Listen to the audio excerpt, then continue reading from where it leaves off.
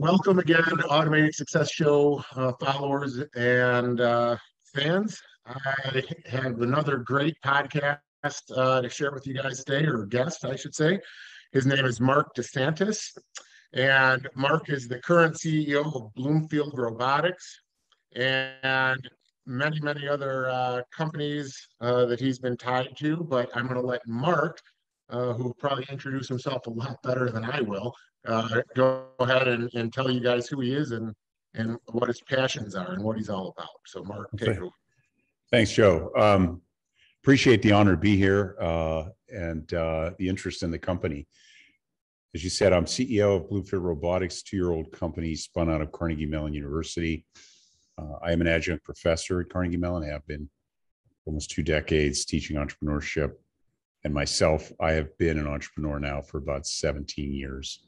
This would be my third AI startup, fourth startup, uh, fifth startup overall, uh, all in some obviously tech related field. I like to go uh, particularly where a friend calls them big and boring industries, where they have big, big industries that have quote unquote boring problems and bringing uh, really cool technology to solve that boring problem. The most interesting thing about ag is that it's the largest industry in the world. and it, we solve these problems. We don't solve them, people don't eat. Um, and that's been true of some of my other past businesses as well. These are problems that, if they're not solved, fundamental problems happen in society.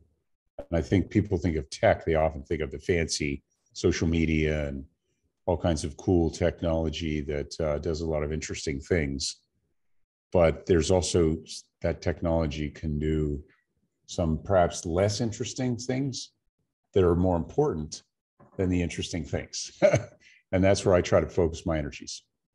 Yeah, that's, that's actually very well put. And, uh, you know, I, I love that you say that because, you know, sometimes there's some people that are actually, you know, scared of technology and they, they think it's, uh, they think it's bad for our future. But the you know the whole point of the show and the whole point of having people like you on is to kind of bring those things up and explain that uh, you know technology is good for all of our future. We just people have to be open and willing to learn about it and realize that the only reason someone thinks it up is because they're trying to solve a problem. And if there right. wasn't a problem to solve, no one would even engineer the, the system right. That's that's exactly right. I you know a lot of uh, ours came out of the university carnegie mellon university robotics institute and and um, i think if universities are guilty of anything sometimes is they create hammers looking for nails which isn't a bad way to start a company. You know i created this fancy technology. I'm not sure how it could be used.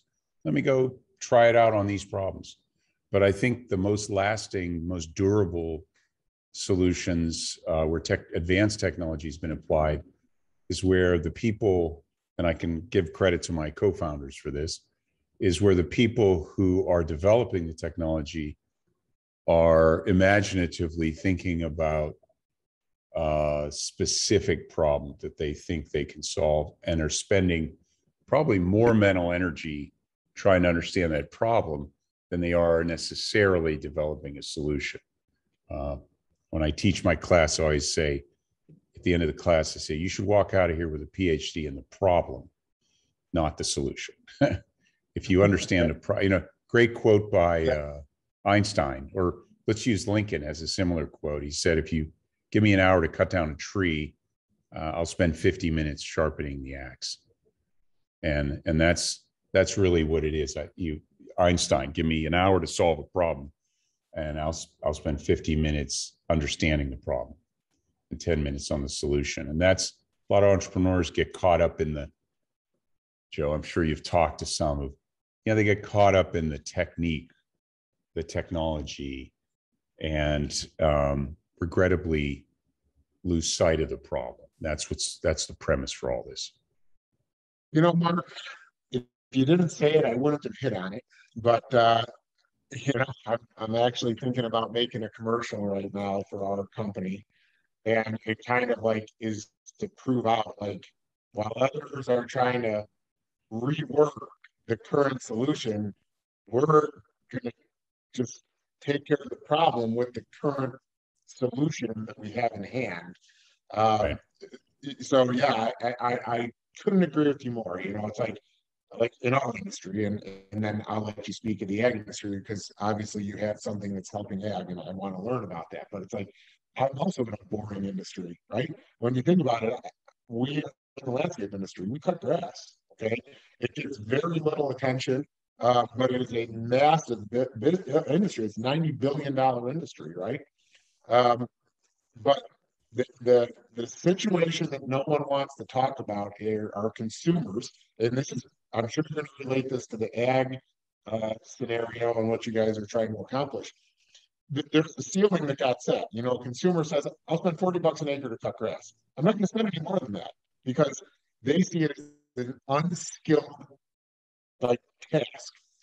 Well, with cost of living increases and counselors and kids going to universities Nobody's telling kids get good grades. I say this on many of my shows. You probably heard it if you listen to the show. Get good grades to go cut grass. And that's not taking anything away from the from the people that still work for me to cut grass.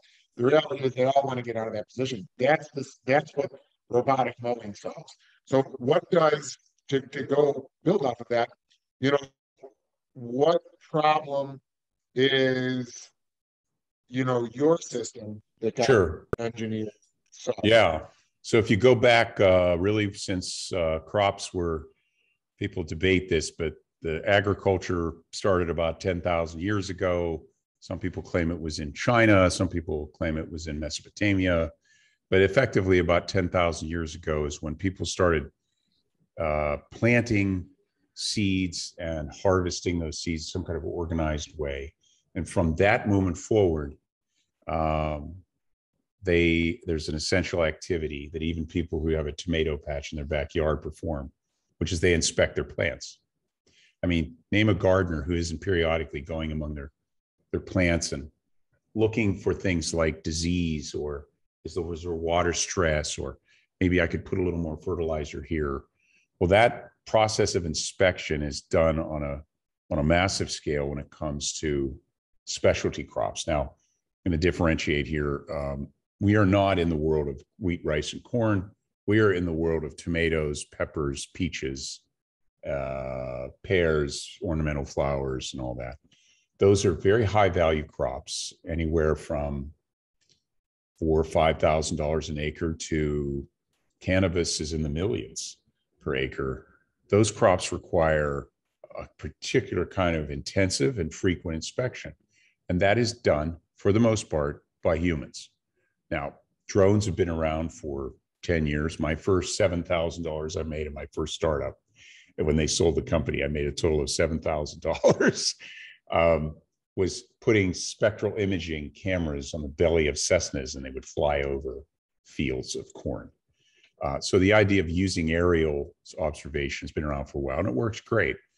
But for specialty crops, they have canopies. And for cherries and blueberries and grapes, you can't really see the fruit from the air. You got to get right there, boots on the ground, looking straight at it. And that's what we do. So we take that uh, expertise that exists in a botanist or viticulturalist in a vineyard or a horticulturalist, and we put that in AI. So we put that, we embed that expertise in the AI. And then we combine that with cameras uh, camera's not unlike the one that's just over my shelf, uh, over my shoulder, an older version, skeleton of one. We put those cameras on really anything that moves. We've used ATVs, tractors. I could go on. I have a running list of pictures of all the different vehicles we've used in the 15 vineyards. We're in three countries. You wouldn't believe some of the vehicles that are in vineyards in France, by the way. um, you attach that camera to a vehicle, you just drive up and down the roads, and it snaps away and it images every plant. because it's inspecting a plant repeatedly, it geolocates that plant. So it knows that, hey, that's vine six, row seven. And then that image becomes the foundation for the AI doing its thing. If I'm a viticulturalist, I may be a foot away from that plant. And as I'm at, looking at that plant, I'm of grapes, I'm looking at the size of the grape, uh, the, perhaps counting the grapes, the color, the shape of the cluster, the leaf density, on and on. All those things I'm observing and making notes. That's what we do, except we do it with cameras and artificial intelligence. Some differences. So, how are we different than a human doing it? Well, first of all, a human inspector can probably do, in the case of grapes, and this is true of every crop, about a tenth of an acre a day. And that's a that's a busy day, 150 vines. Our camera going at eight to 10 miles an hour on a vehicle, two cameras actually pointed in two directions, can do somewhere around 35,000 vines in a day. Just going eight, 10 miles an hour spent, and the cost of that is the gasoline of uh, spent driving an ATV around for six hours, seven hours. So it's the scale. That's one. So you can inspect every vine, not a not a half a percent of your grow, but literally every vine in your 300, 400, 500 acre or larger vineyard. That's one thing. Second thing is, and this is a more subtle thing. So if I give uh, the same X-ray to five radiologists, uh, all due respect to your radiologists who may be listening, apologies, but you will get four or five opinions, and they are highly motivated and highly trained. They just look at things differently. We are human. So if I ask people to inspect something, no matter how highly trained, how highly motivated, I'm going to get different opinions. And those opinions are different enough to make any one opinion somewhat suspect. Because we're using one brain, that's the AI that sits in the cloud, it's analyzing it, it's consistent, it's data driven. On top of that, already by our estimate, like I said, we're in 15 vineyards in three countries. We've digitalized, what I mean by that, inspected, turned into digital form, um, probably around 700,000 vines and probably around 700 million grapes. Um, there's no human on earth. There's no there's no 20 viticulturists in the world that have seen uh, that many vines, that many grapes. So we're seeing them in a quantity and in detail um, that is not observable by humans. So I would just make the case that any inspection regime, by the way, will fall to the god of of uh, of AI deep learning. So that's what we do. And then what does that mean? Well, it's the same thing for the human inspector. That viticulturalist is looking at that plant. It could be ornamental flower, it could be a vine, it could be any organic matter. They're looking at it. They're looking as a coach and a doctor. As a doctor, they're determining, hey, is there water stress? Is there infestation? Is there disease? So they're determining whether or not that plant needs a remedy or, in some cases, removed if it's uh, uh, an infestation. Um, they're also looking as a coach because they're doing those inspections repeatedly through the year. Hey, this plant needs more water, or something about this. Maybe this we need to do some de-leafing here certain times of the year it has to perform at a certain level and that inspection is doing both of those so we do that as well so what it means is higher yields because we're inspecting everything frequently as often really as the grower wants. It's flat fee. We just charge a flat fee. Um, as many plants as they want. And over the course of doing that they are then able to monitor their crops uh, with a level of detail and level of precision and objectivity they've never had. The result is higher yields um, overall, higher quality yields, and what I call crop protection, because they're seeing these problems very early on. And then, lastly, and I'll just finish on this thought if you think about it, right? If I can monitor my my plants and geolocate them particularly for perennials, plants that live beyond a year, multiple years, I can track the life of that plant. And I can track its performance the way I would a professional athlete its productivity, its performance. And then I can make adjustments to individual plants through the life of that plant. Now I manage not to the acre, I actually manage to the tree, to the bush, or to the plant, which is the ultimate ambition of every precision agriculture out there. Sorry about that long answer, Joe. That's just my, I get caught so, up in what I do. So forgive so me. listen, Mark, first of all, you blew my mind. I, I mean, seriously, you, you were talking to me. I, I, literally was thinking I, I, could let this guy just talk for the hour and a half, and I should probably shut my mouth. oh, don't do that. And, You'll regret that. any anytime I open my mouth, I'm probably diluting the uh, the amount of uh, the uh, uh, I don't know just great content that you're going to spew out out in this hour. But uh, you know, as you said, what you were saying, there's a few things that I just could not help but to be my mind started bubbling. Is um, you know, first of all, I think it's great how you mentioned you can monitor the life cycle of a plant. You can actually, because you can probably start to eventually one day predict um, in a year where you get X amount of rain or X amount, whatever temperature type of yield. So you can start to let the grower predict a year. Um, That's right. Taking, you're proactive instead of reactive, you know? Right. Um, then I think about, you know, I think about with what we're doing with robotic mowing right now. You know, so like right now, I have 300 over 300 machines personally that are out in people's yards all day. And as you're talking about, I'm thinking, why could not I have camera systems like this on those robots that would identify an Austrian pine diplodia right when it starts, and then report back or identify um, a uh, uh, you know any type of fungus or any type of problems or bug infestation. You know, most people don't realize most most bug infestations are on the bottom side of leaves um, because that's where they hang out to get shaded by the sun. I mean, there's so many things that a system like this could do. You you have described where I believe this is going, right there, which is so what I described is what I call active collection. So the grower is saying, "Hey, Bill, put uh, ask Susan to go out in the ATV and and scan these four plots." That's one way to do it. Another way to do it is I'm going to take the harvester out and do my thing, and I'm just going to kit out sensors, and I'm going to passively collect data as an incidental outcome of me doing another task. So then it becomes costless. I, will give you an example. I didn't share this. My previous company is a company called RoadBotics. It's very similar to this one. It uses AI spun out of Carnegie Mellon, and it uses cell phones to collect the data. We use cameras we've made. That company used cell phones. It would put it in the windshield of a car, and then they would drive around a city and they'd collect video data, and then the AI would assess the road surface for about three or four dozen features unique to asphalt concrete we used cars, so people would have to put a cell phone in the windshield, drive around. And somebody said, you know, why even bother with that? Street sweepers are in every city. They're constantly on the road. Why can't you just put them in the in the windshield of a street sweeper? So I went to the largest, one of the largest street sweeper manufacturers in the world.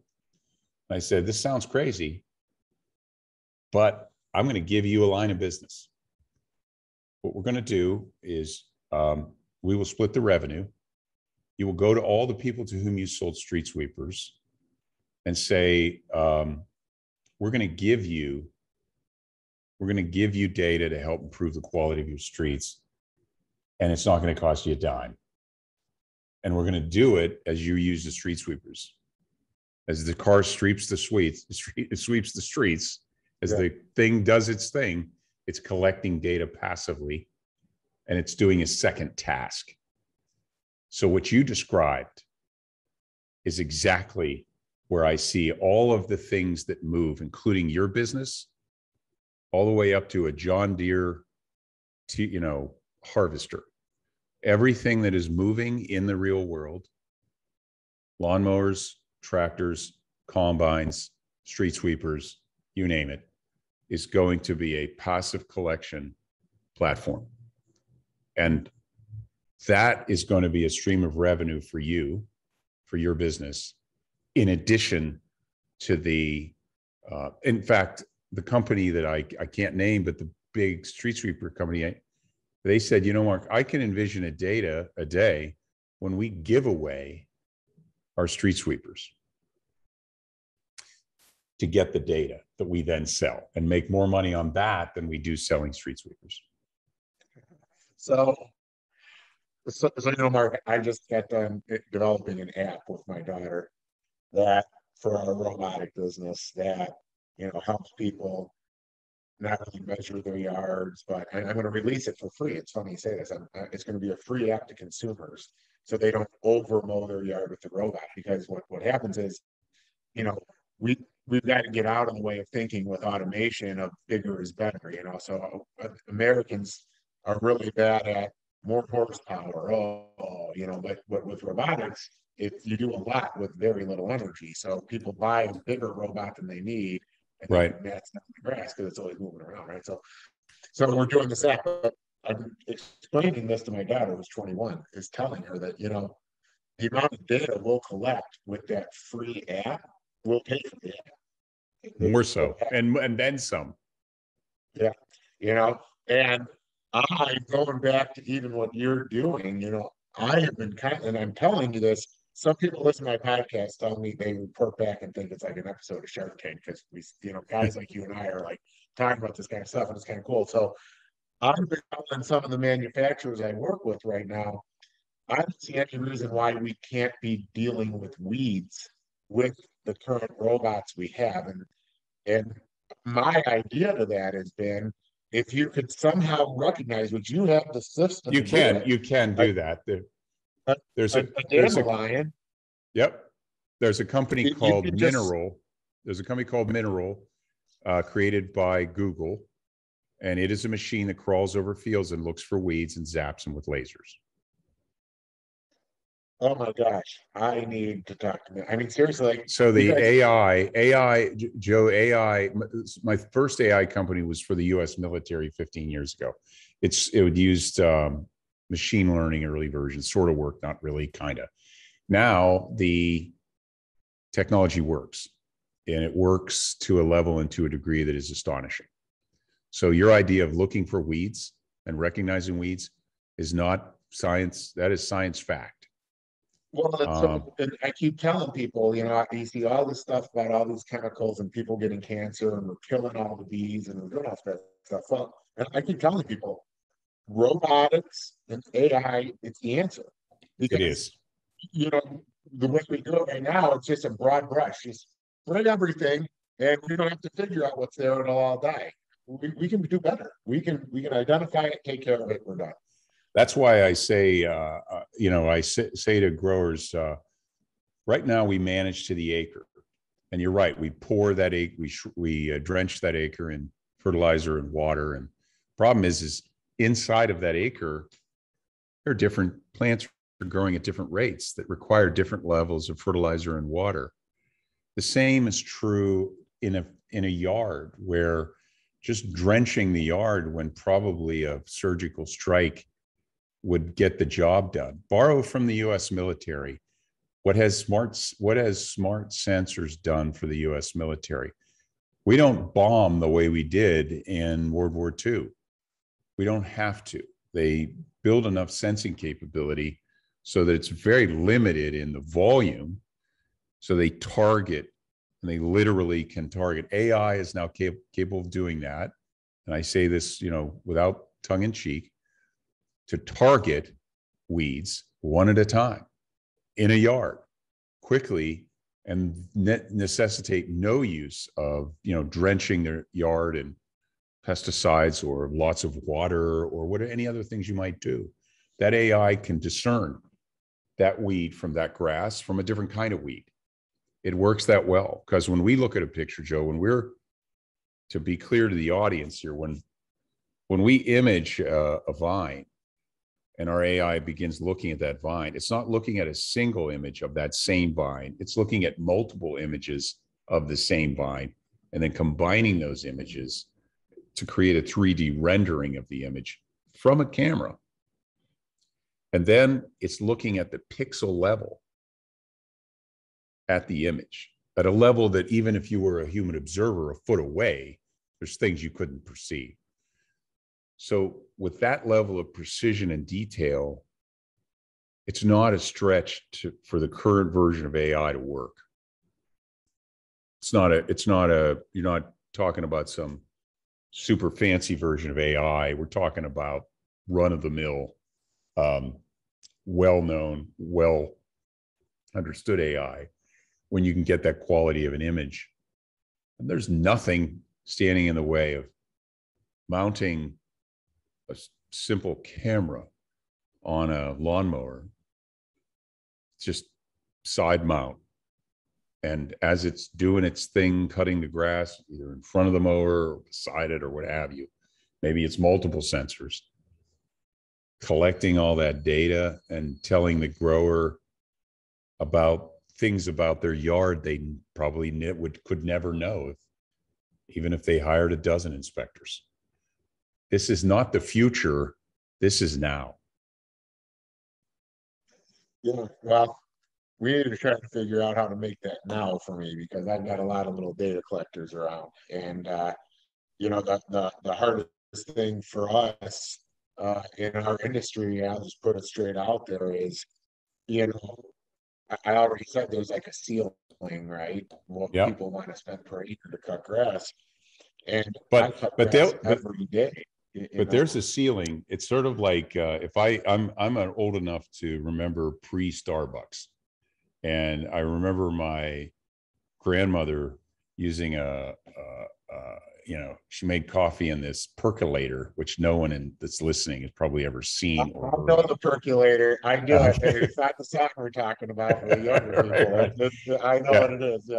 Right. And if somebody would have told my grandmother, "Hey, Grandma, one day people will spend more for a cup of coffee than it costs that percolator for one cup," she just said that, you know, well, I know what she would have said, and it's because they Starbucks provides value that that that that, that percolator could never provide.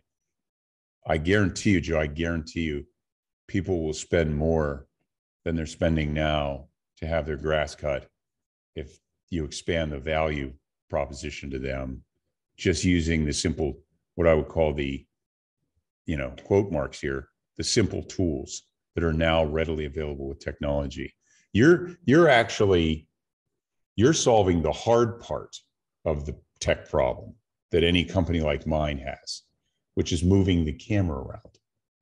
That's actually the most expensive, hardest part of the problem. The AI, not a problem. The ability to move data, get it into the cloud, do the magic, show the grower what they need, not a problem. Moving the camera, moving the sensor around cheaply and efficiently, that's actually the most expensive part of the problem. And you're solving it already. Not unlike the street sweeper company. I mean, we're, we we work with tractor companies right now, and they're just saying, "Hey, please put please put one of these on my tractor.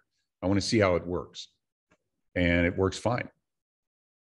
Yeah, well, and what's crazy is uh, we so there's two things that you know, to say and bring up as we're talking about this now is, you know, we're doing big corporate campuses, you know, 20, 30 acre campuses where I have 20 units in, a campus and it's, know, all sorts of stuff, you know. And and then when I look at like uh, so like my brother and I own a nursery and we were actually just talking about the fact of how much time we spend like cultivating and doing all the stuff and root, root pruning. So you're gonna kind of like this, but my brother and I have pigs and stuff now to do this stuff because they do all that stuff anyways, and it's for free, and they eat the stuff for what they buy. I keep telling my brother we should just plant grass, put robotic lawnmowers. It'll just kind of cut because in a nursery you don't want anything to grow up because right. it shades the bottom of the plant. So I'm like, we just set little rings and mow.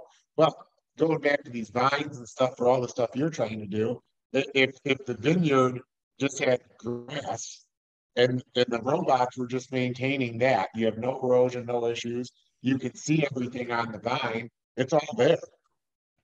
It, it, yeah. It, see what I'm saying? So like, yeah. But it's, it's but the thing is, you have to change the, the way the people think about it, right? Right. right now, I'm having issues with solar farms. They want me to robotically mow, and and it's a little statue, but you're going to appreciate this. They want me to robotically mow for them, and right now, I'm telling solar farms I can robotically mow them for a couple hundred bucks a month, and it's going to mow them every day. So you think about it, it's 50 bucks an acre. That, that's what it is. $200 a month, it's $50 an acre a week.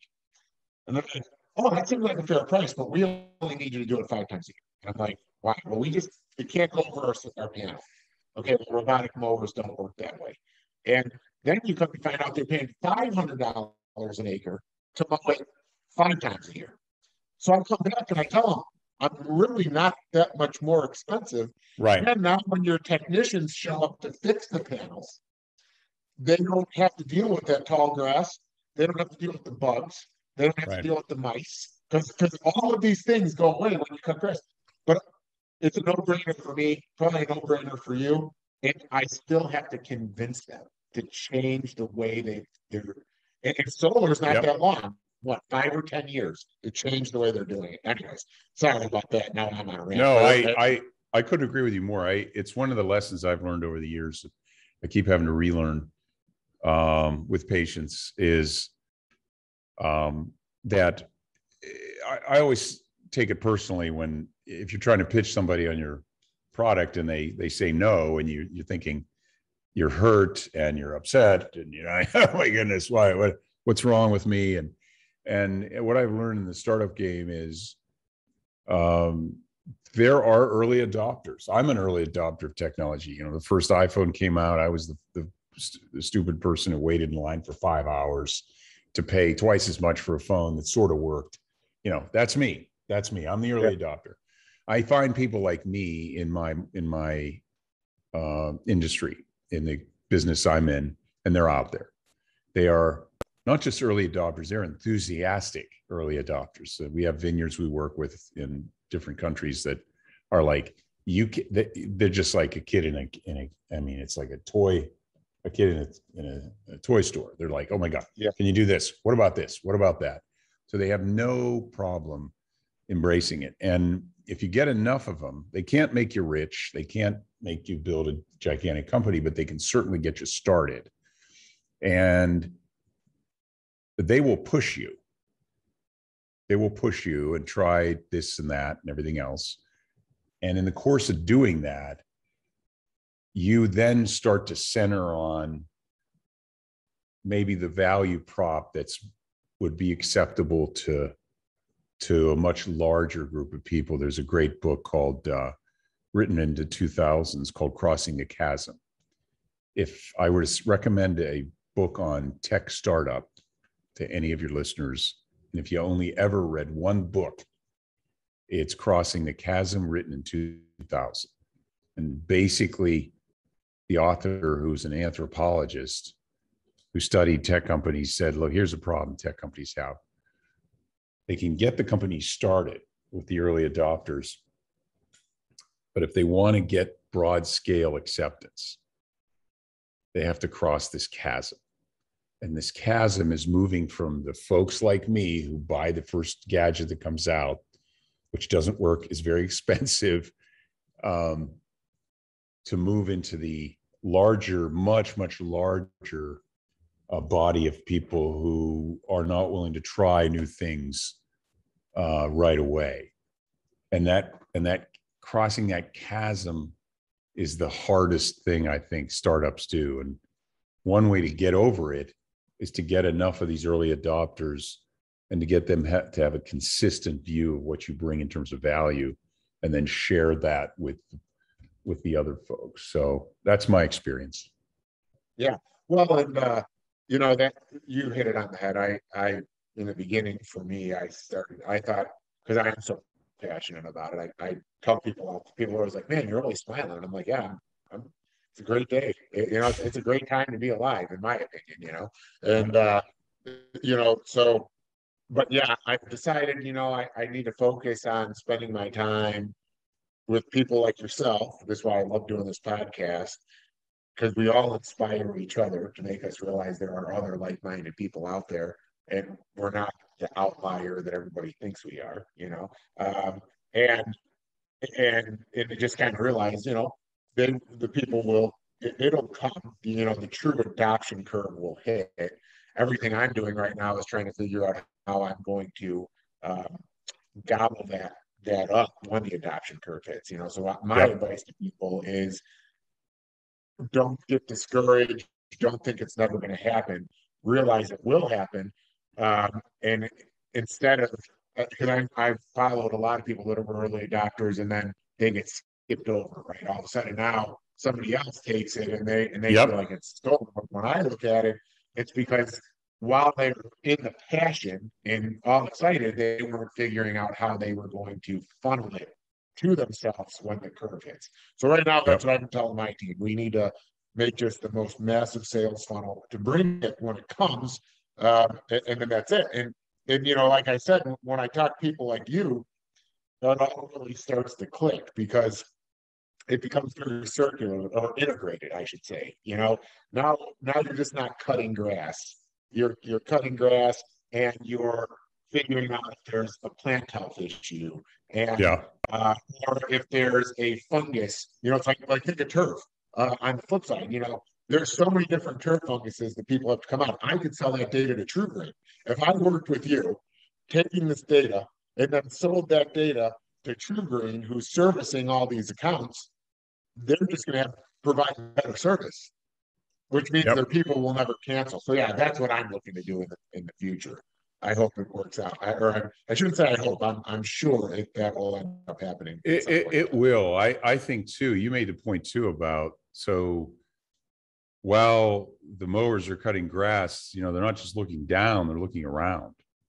Yeah. And there, there are a bunch of assets, I'm sure, in that lawn, whatever it might be, on that plane of grass on and around that also need looked at by somebody. And it, and often the judgment isn't necessarily some deeply detailed it's uh, kind of a binary hey is this thing there or not? Is this green? Is it or whatever it might be simple kind of judgments. There's just no human available to go look at this stuff. And so and so often it, it's it's actually the inspection process is quite simple. And um and again sensing now has reached a point where you know it's it's it's it's it's sophisticated to it can do amazing things so yeah. So um So, so I have one more question on how it communicates back, and then, and then I want to find out about more, you know, part of the show is always finding about, finding out about Mark, you know, I, I want to learn more about you, right? But, Yeah. but, so, okay, so you have all this data to communicate. Let, let's say I put them on my, on my mowers, right? yeah How, how do you get that data to your server? yeah so it two ways one is the uh, cameras themselves process some of the data uh, and i want to talk a little bit about a contract we got talk about nasa in a second Okay. you'll you'll really like this You're the third person I've had on the show that talks about NASA. I seriously, Oh. every time somebody brings up NASA, I think I might be the luckiest guy in the world to talk about NASA contracts. Anyways, go ahead. Well, they're So- they're a customer, so I'll come back to that. Okay. Um, the uh, some of it's processed on the device. Uh, There's a lot of image data, so that gets skinny down a little bit by the processing on the device, and then the rest goes up to the cloud, either by a Wi-Fi.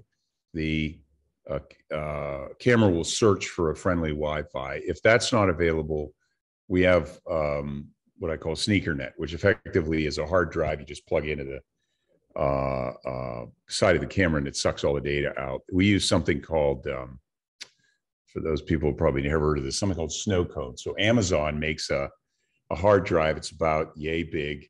And it, if you've seen that printed ink it looks like paper, it has a label that prints so you don't have to do anything to it. You plug it in literally and just put it in the mail. You don't put it in an envelope or write an address, nothing. You just plug it in, it prints on a screen the label and just put it in the mail. And the next day we get it. So for for that, either if the Wi-Fi, because rural areas for many cases, or in some cases we're in, like I say, we're in Bordeaux, France, we're in northern Italy, we're in Peru. You know, those places don't all have 5G. So it's just an efficient way to get the data uh, uploaded. It's, in some cases, growers have their own. Uh, you can plug it in to your own uh, uh, system. Some people have. Some growers are big enough where they have servers, where literally you can just download it, you know, onto that. So, so there's different ways to get the data up to the cloud. That's the. It's.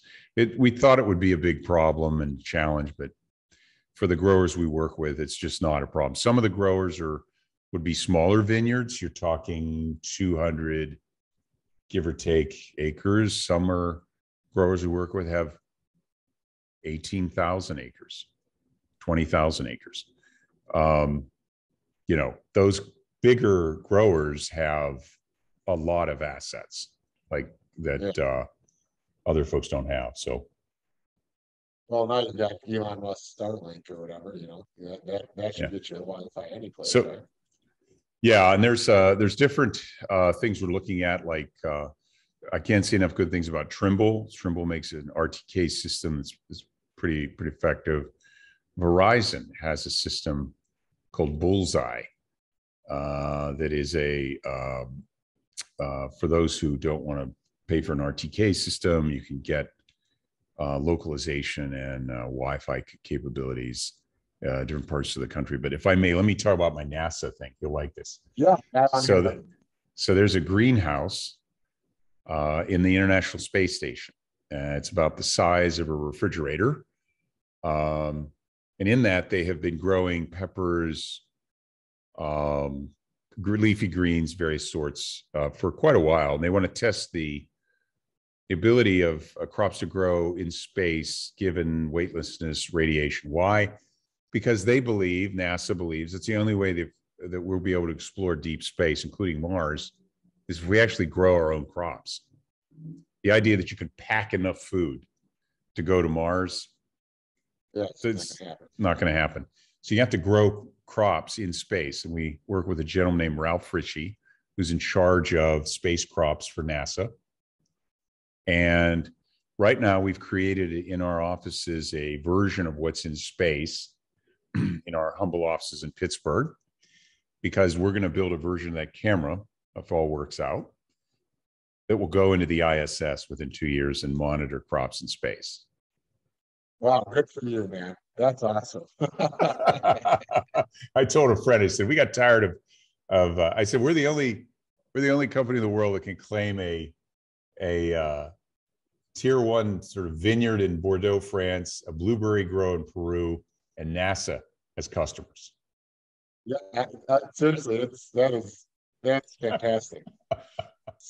So, well, I'm telling you, I'm, I, and I'm saying it straight up like this, I, I'm gonna figure out how to take our area that we have at the nursery, like I've got a little fourteen acre plot that's close enough to pick up our Wi-Fi probably at our building. And I, I just wanna put grass there and let my robots move around and see what you can see with my robots moving around in a nursery, looking up at trees. I, I'm telling you, it's, I, I think it'd be a great kind of, uh. I- Joe, I think trees- together. I've always believed trees are trees are a market. I, I've always believed that. I uh, whether they be ornamental, forests, you name it. I, I think trees. Somebody has to go look. I would say somebody's got to look at the plant. Somebody. Well, and like for us, I mean, we put, we put the trees in, you know, we, uh. You know, they need sprayed. I mean, you know, they, they have to be A quality trees. I mean, the way it is in the nursery business, if I can sell an A quality autumn blaze maple, even at wholesale right now, it's two hundred and twenty bucks. But once, once you lose a leader or something gets broken, um, on, on especially evergreen trees, if a bird lands on that leader, Yeah. now, if you don't see it quick enough, now you don't have a leader, you're cutting that back. So yeah, there's huge value and there's huge, huge things that can get identified without somebody out looking at it every day, you know? Yeah. Um, and it can recognize too, you know, it's like, uh, you brought up, uh, um. The different plants. Well, to me, I look at it, I know in the hundred and seventy-six acres we have, there's different soil in each one of those parcels. Some are high clay, some are loam, some have some sand. All those plants react differently. The, the ones in, in sand, if we're really wet, those Right. plants grow great because it's well drained. The other hand, my clay side Yep. of the nursery, it can be dry and those plants do great, but if it's wet, they struggle, you know? So these are all things that you can notice and then deal with, Yep. you know, so I- I Absolutely. it's awesome. Absolutely. So, so I don't want to take up the whole time on tech. I feel like you and I, we might have to get our phone numbers after this and Yeah, sure. about stuff. But, uh, Happy to. but tell me about you though. Background, family, you know, uh, what, you know, even down to your first job, okay? Because Yeah. we all got here somehow and, and I want to know how that happened. So first job was cutting grass. I kid you not. shit. That was my first job, cutting grass.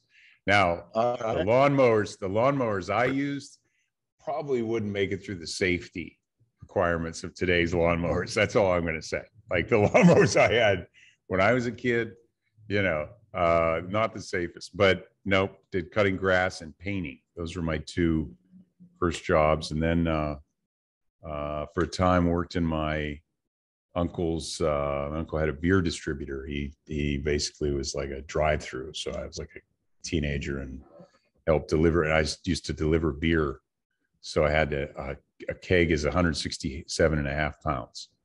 So I was Uh-huh. in sports in high school and that was good training to, I was a wrestler. So that was help, helped me develop as a wrestler, being able to pick up a full keg, 167 and a half pound keg. Uh, problem was after I lifted enough kegs, I'd want to drink that beer, but I wasn't old enough to drink it. But that's a whole nother story. Um, what class did you wrestle in, by the way, in high school? in high school, uh, 121, and uh, yeah. Yeah, you were a small guy in high school. and Yeah, I was a little guy. Impressive. You were lifting. You were lifting 165 yeah, pound yeah, uh, yeah. You know, I was- that, that's I was in better shape when I was younger, but uh, but I I uh, so did that and uh, went off to college at Ohio at the University of Dayton, and then uh, ended up uh, uh, you know getting a couple degrees there. Went to uh, went to Washington D.C. Actually, is my career first career move. Kind of strange background that I have here, Joe, since you asked.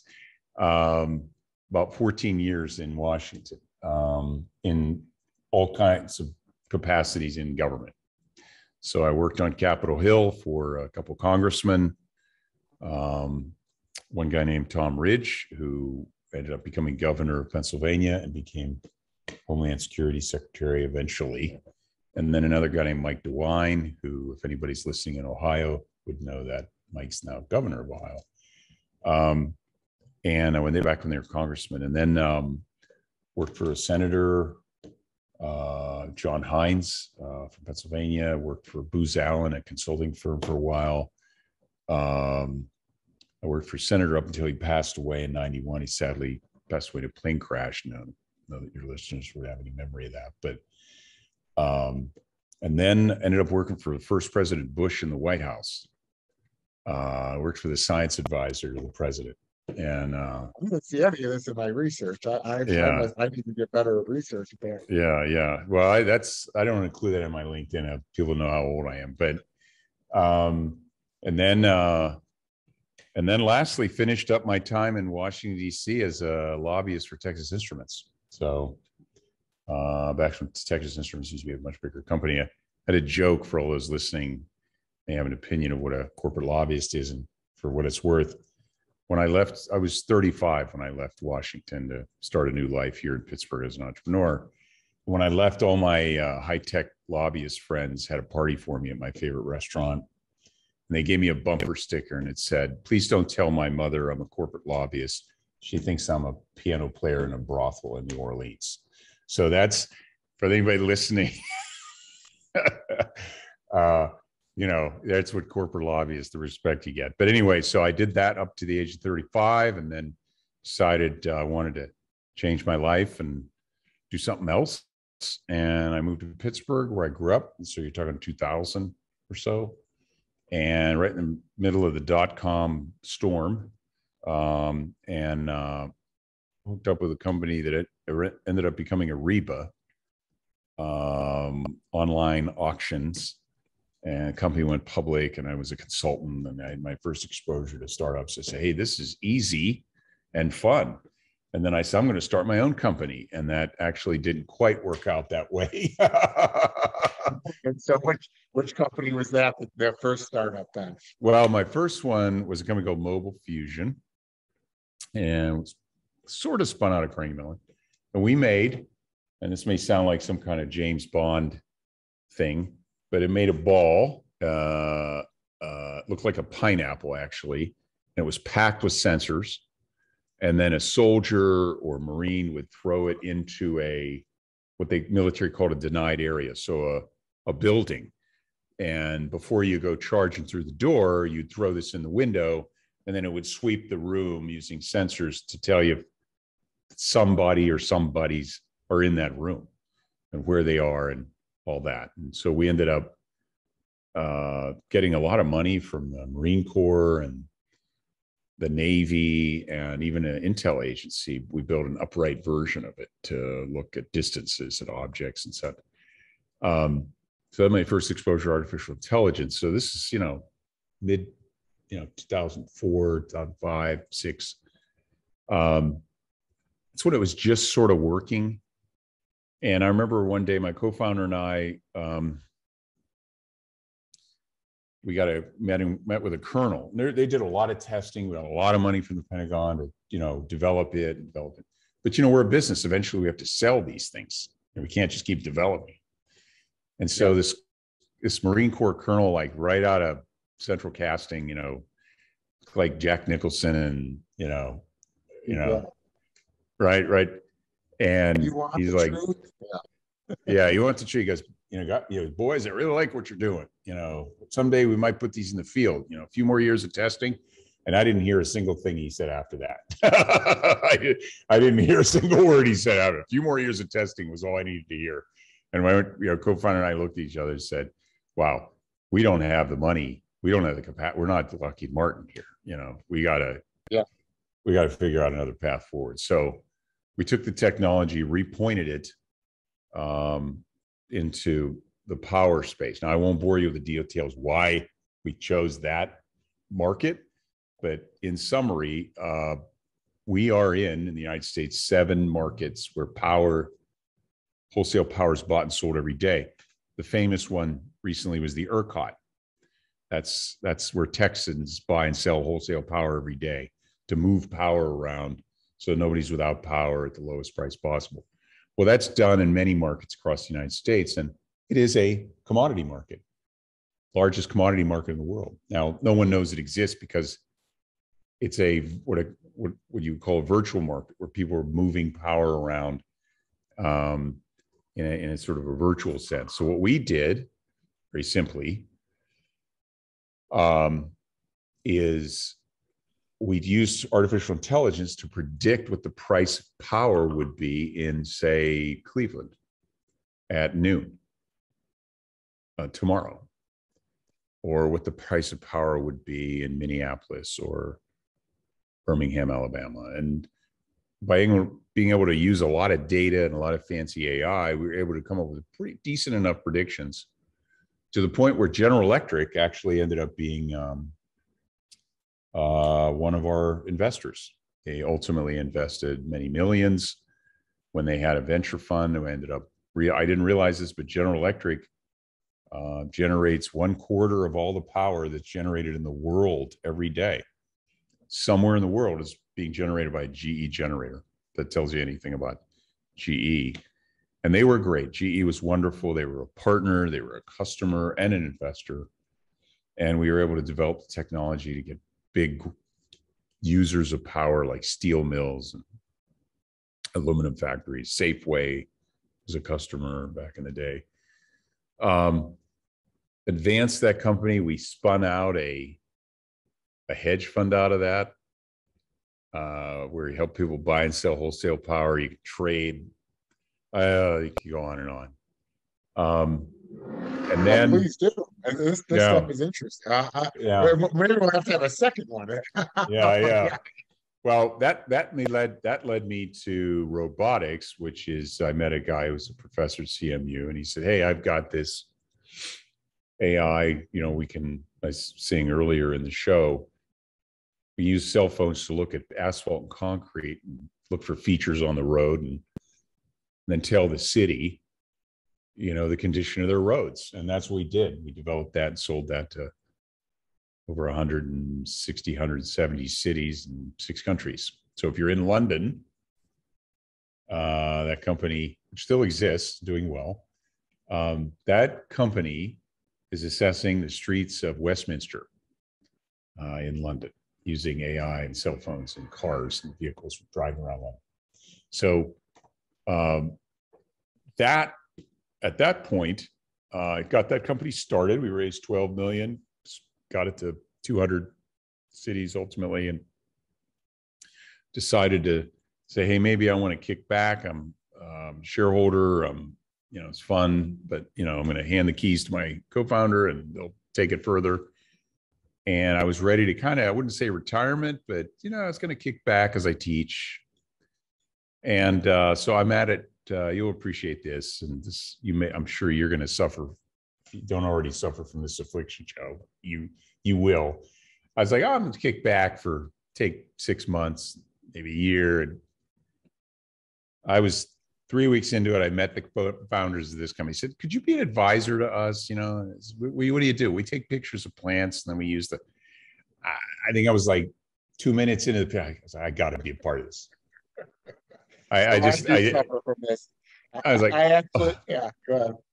No, I was like, I this is crazy. Here I here I was like ready to, you know, like, oh no, I'm I'm I'm good for a while. Nope. So I, I no, just I can't help myself.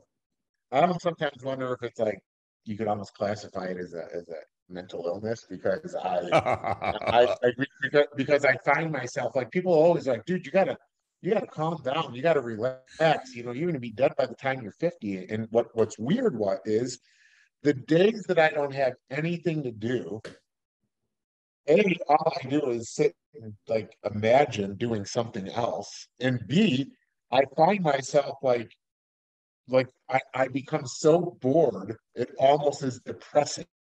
Oh, I, we know this you and you know you and I know a dirty little secret. The dirty little secret is if we're really honest with ourselves, what we do every day isn't really work.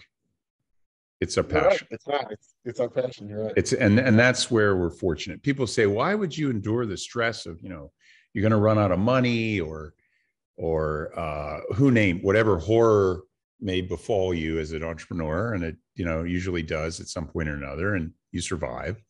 Is why would you endure that? And I remember the quote by Nietzsche, and he says. Um, um, once you know the why, you can endure anyhow.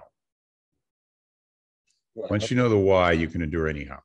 When it's when it's your passion, it's not suffering. It's just what you got to do to realize your dream, to your passion, to to do what you love. So, yeah, it's stressful. Yeah, it's hard. But you know what? Hard to me, work is standing in the line and in Pennsylvania at the Department of Motor Vehicles waiting to get my license renewed. That's work. That's true. I just had to do that in Illinois. It was crazy. and I had the CDL, so I had to retake a test and you know, yeah, so yeah, no, I, I you could not put it any better. I I I tell people all the time, and and and the whole point of the show is to inspire people to yeah follow your heart follow your passion, um, and to not allow any like like to not allow the people that do show up a job to stifle the passion you know? Right. Because they just don't understand it. Like they they don't understand what makes you tick because they're not fortunate enough to have right. Right. It is uh, i have a friend who uh, uh, is a retired navy seal officer and he is also an entrepreneur and he's about my age. And he said, you know, entrepreneurship's like being a Navy SEAL. You just have to get comfortable being uncomfortable. Yeah. And at some level, you know, it's that it's that challenge. Probably Joe, you're like me. That's that challenge that drives you forward. You, you don't have to have anybody explain to you why people climb Mount Everest, right? It, it, it, takes no explanation to you yeah. to say, well, here, let me tell you why I climb it. I already know because I do it every day. I get it. Well, and, and so, so my own brother, you know, um, you know, we, we live a, a content, I mean, you know, a good life right now, you know, so my brother's always like, like, Joe, why, why do you need more? Why, why, why, you know, why do you need to go national? What if we just stay regional with these robots? And, and and I say, John, national, I, I'll go international if I can. You know? Right, like, right, like, right. Yeah. And, and, and, and, he's like, why? I'm like, to say I could do it. You know, that's the whole Mount Everest thing. You know, why would you climb Mount Everest? To say that you did it, you know? So so exactly. I tell people all the time, like, like because I you, you know you interested me and I want to almost circle back on it in a second about you know the, the that startup that went public and you were a part of that you know I I tell people like when I start talking about robot, robotic lawnmowers I have more people that want to invest in my company than I have people wanting to buy robotic lawnmowers it's actually the craziest thing and I I have that happen I'm like this should be a public company like I need to actually try to figure out what I need to do to scale this up to go public. And when I tell people that, they're like, "Do you really want to have a public company?" I'm like, "I want to say, I, I, I want to say, I've had an LLC, I've had an S corp, um, and I want to say that I've had an enterprise value business, and I want to say that I've had a public business. Which I, will looking at your resume, it's kind of like the way that it is because it's part of part of the success is also the education. So I'm like a self-educated person. So everything that I do, every different type of business that I open, right? The fun is the education doing right. Right, right. It's the learning. It's the challenge of it's the it's the it's that sense that there's another world that you're going to enter and uh, you know i've been in defense i've been in power i've been in education i've been in uh, road maintenance i've been in now ag and you know and in every instance, uh, I remember when I first started about this ag thing, I thought, ag, I, I mean, who, you know, I thought I'm the furthest thing you could be from a farmer. And yeah, but now that I'm into it, I get, I'm, I'm hooked. I never yeah. imagined I would feel this way, but agriculture is one of the most fascinating industries in the world. And, yeah. and to me, it's a, I get the fruits of being an entrepreneur and you know all the challenges of that and the fruits like you said joe of learning of learning about an industry and and and how people solve a very important fundamental challenge which is how do we feed the world? Yeah. You know, how do we feed the world? No for sure.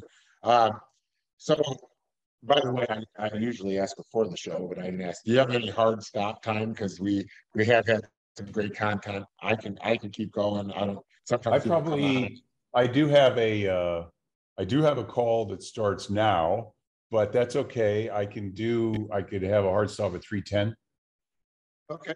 Uh 10 minutes. So yeah, 10 yeah. Minutes. Okay. Yeah. Yeah. So uh yeah, so I yeah, one of the things I tell people too as an entrepreneur, and I think you'll get it too, you start to notice people's body language. And I noticed he kept like looking over to the side. So I was like, oh, I think there's something Like we're running late. He, he's got to do something. So I don't know if you were looking at the clock, but I can tell you were looking at something. you know, it's funny. Uh, so, uh, all right. So, so, uh, you know, one of the one of the questions that I usually ask is, uh, you know, if you went back 20 years, you know, back to 20 years ago, would yeah. you have done anything different? Tell yourself anything different, or is it all? And I, think I already know the answer, yeah. but it is all the way you would want it to be. I don't know what I would change. Um, I guess I probably would have said, I probably would have said, go easy on yourself you know be be good to yourself be give yourself a break you know when you're doing a hard thing and believe me you know starting and building business is really hard um really really hard and you beat yourself up you're like oh i didn't know that i wish i'd known that or should i I had no idea. Why did I sign that? Why did I agree to that? Why did I hire that person? you know why did i take money you know you're constantly it's just one mistake after another it's like trying to figure out a, a clear path through a minefield by stepping on every mine. You know you'll eventually find a way through it but believe me it's there's got to be a better way. Less painful but it's there isn't. It's it's a game. And so, if I could say this to myself, I'd say, as you prepare for this journey, just be more forgiving of yourself, that it's okay to make mistakes. Um, you know, a friend of mine says, it's okay to have in your business. It's okay to have problems. It's normal. It's not okay to keep having the same problem. that's when it that's when a problem is a problem when it keeps coming back. But I think if I were to say that, that would be the big thing. Is just the be more patient with my own learning. Um, be more forgiving. Um, in this game, the other thing is you you always think, and I'm sure the listeners out there who are doing entrepreneurs, some of them may be listening and thinking, okay, yeah, it's easy to say, but I'm on my last, you know, I don't have any more cards right now. I'm against the wall. This is it. I'm finished. I've tried every trick in the book. I've, I've knocked on every door. I've turned every lever. I've had every conversation and there's no path forward. I'm done. I'm finished. If I had a nickel for every time I said that, and it turned out not to be true. That's a good point. Yeah. And it turned out not to be true. There's always a way forward. There's it's never fatal. You just figure it out. I agree. The best pivots I've ever had in any of my businesses the pivot happened because the profitability was slipping. We were, you know, you, you look at it and you're like, oh my gosh, like I'm getting high up on my credit line here. How am I yeah. do? And, and then you just you say, okay, you make some tough decisions, and then boom, it's all working. And then you say, okay, just don't make that, don't let that happen again, and I'll yeah. never be in the situation. I mean, it, it, it is owning businesses are just like anything else you do in life. It's about, it's even when you think back to being a kid, if you burn yourself on the stove, you you you realize you you don't you don't grab it without a pot holder again. It's like, don't. Yep, and they and you move on, and it, before you know, it's in the rearview mirror. And yeah. and and by the way, the good news is you're now that much smarter. Um, I mean, there are things that I you know, that judgments, mistakes I made, um, and almost always that has helped me in the next thing I did. It protected me. Yeah. Well, yeah, and, and that's the thing about being a serial entrepreneur is, you know, I always tell myself like, you know, so if I make a bad decision in this business with the robotic lawnmowers, like let's say I take money from the wrong person and get diluted out too fast or something, then it, and I'm not even at that point yet, but I know I'm gonna have to get to that point.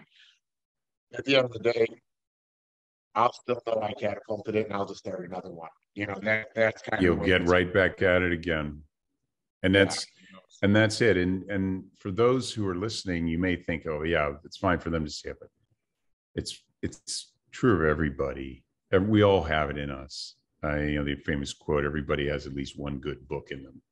Right? And that's the same for startups. I want to write a book.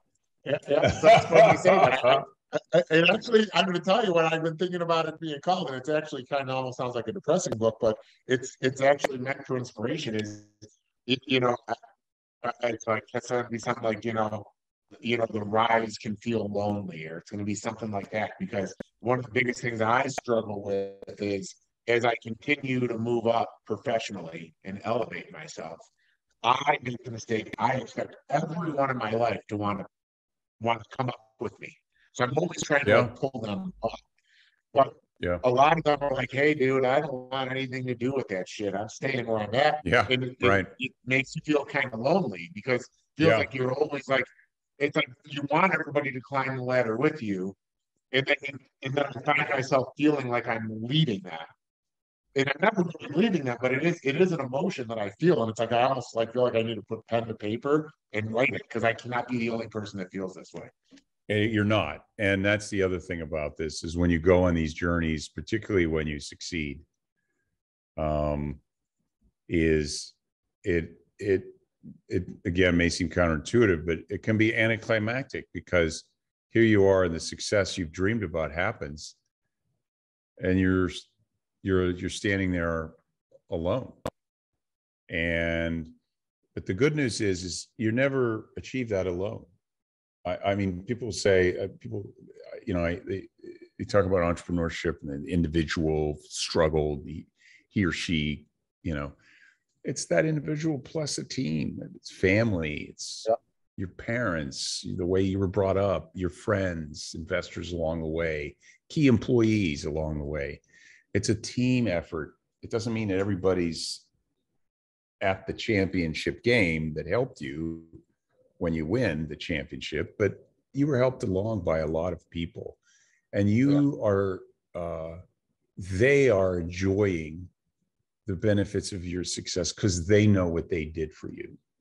And um, so it's it's a team sport in the end, but it is it can be it can be lonely. Yeah. Yeah. Well, Just have to be mentally ready for it. Yeah. yeah, so you said in two, uh, two ten or Yeah. one, or three ten. So we're already kind of over it. I'm gonna, I will end it with this because I ask every guest. Uh, so at the end of the day, I, I always ask what do you want your legacy to be. What do you want to be remembered as? I know you're teaching people. Yeah. You, you know, so, so end it with that. It's, you know. I help. Yeah, I would say I helped people. I helped people, you know, grow. I that's it. I mean, I, if my what I try to do in, in this company and anything I've done is to give people the opportunity for personal growth. And that's that's my mission is to try to give people a chance for personal growth. Well, I can tell you, you've, you, you've helped me personally grow just in this, uh, hour and ten minutes we spent together. Uh, you're So. you're kind. So, so you're doing good and you're helping plants grow. So, so everything is of good for you, you know? So. That's great. uh, That's great. Yeah, so anyways, it's been, it's been a blast, Mark. I'm telling you. I hope we talk more. I actually, I'm Me be too. upset if we don't talk more. Me Um, too, Joe. I'll let you get onto your call. I want to All talk to you right. for another hour and ten minutes if we could. So. have a right, sir. You Uh, too, buddy. See you. Bye.